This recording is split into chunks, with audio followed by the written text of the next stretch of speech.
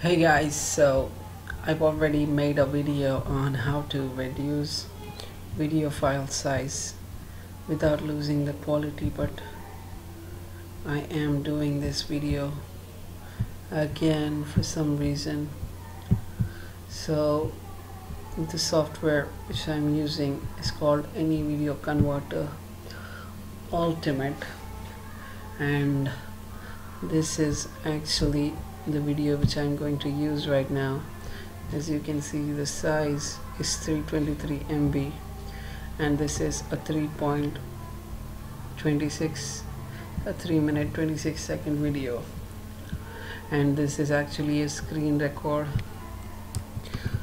which I will upload for another video. And as you can see this is also a 60 fps video. So what you'll have to do is open any video Converter Ultimate and uh, I'll give the download link in the description and you have to add the file which you have to reduce the size of. And the rest is just go to the quality and set it to normal. And the video size is original the original video size. And uh, the video was actually 60 fps so frame rate should be 60 here. And the rest you can let them be as they were and click on click on convert now. And this will take quite some time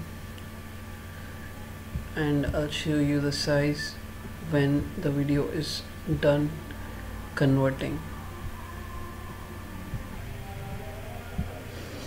So guys the video is just about done being converted and let me just open the destination file location and you'll see that the size of the file is actually 47 megabytes. That's it.